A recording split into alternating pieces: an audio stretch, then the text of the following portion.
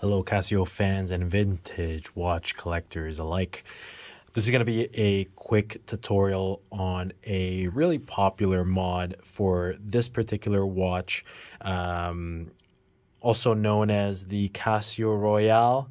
Uh, the official name is AE1200 Casio watch. It's an homage to um, the Seiko that uh, Roger Moore wore in. Uh, the 1980s movie Octopussy.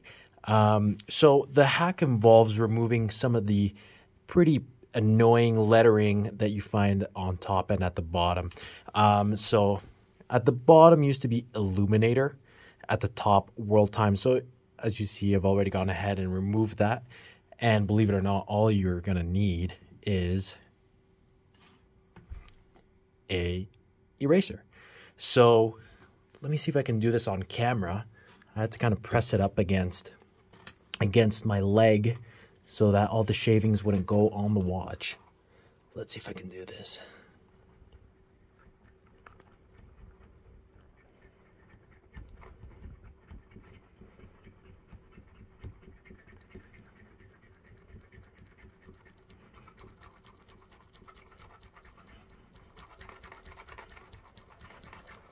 So as you can see, it's already coming off. We're just gonna need to rub a little bit more.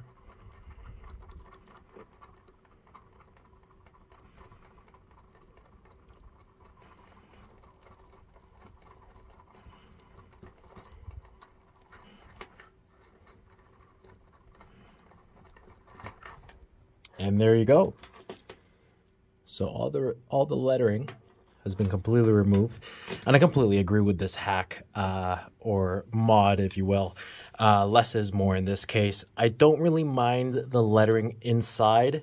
I've seen other YouTubers use Goo Gone and and applying um, harsh abrasive chemicals onto uh, on the watch itself. I don't really like that method because plastic and and abrasive chemicals can can actually don't react very well and can and can very minutely. Like it, I'm sure if you apply it once, it won't really uh, cause too much, too much damage. But I'd rather take on this uh, pretty e easy method, uh, and it only took me uh, less than three minutes. So that's it, guys. Uh, I hope you found this uh, tutorial useful, and gives you one more reason to buy this classic vintage Casio. All right, take care. Bye bye.